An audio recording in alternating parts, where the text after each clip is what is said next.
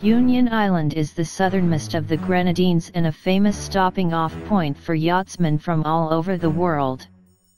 Due to its dramatic silhouette, Union is also called by some the Tahiti of the West Indies. Its location just a few miles from the Tobago Cays, Mayreau, and Petit St. Vincent has made it the ideal starting point for day charters to these islands. The island has a small airport and is easily accessible from Barbados, Carriacou, Grenada, and Martinique.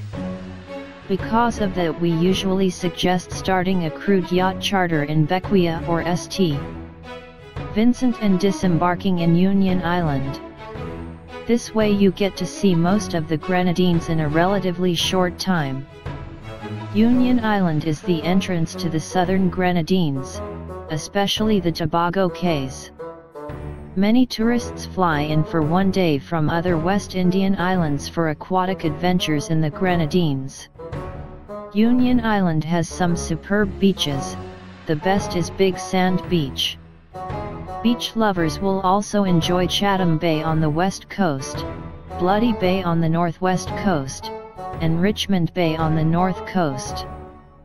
Snorkelers will find good conditions on Lagoon Reef, which protects most of the southern coast of the island, especially around Frigate Island, just offshore from Ashton. Union is untouched by tourism and very relaxed, it has more beachfront inns than cars.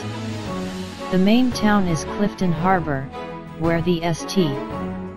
Vincent Tourist Bureau maintains an office. Ashton, another small town, is still in walking distance, but only few tourists make it to here.